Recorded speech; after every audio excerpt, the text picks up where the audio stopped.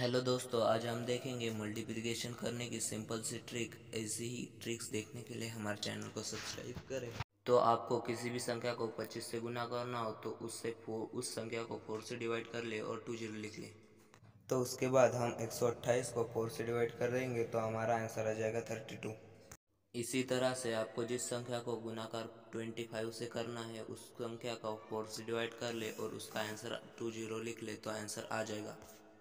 इसी तरह से आपको नीचे दिए गया सवाल का आंसर कमेंट्स बॉक्स में देना है और हमारे चैनल को सब्सक्राइब करना। तो ऐसे ही ज्ञान वर्धक वीडियो देखने के लिए H S Gyan YouTube channel को सब्सक्राइब करें और बेल आइकन को प्रेस करें और एक वीडियो को छोटा सा लाइक कर दो।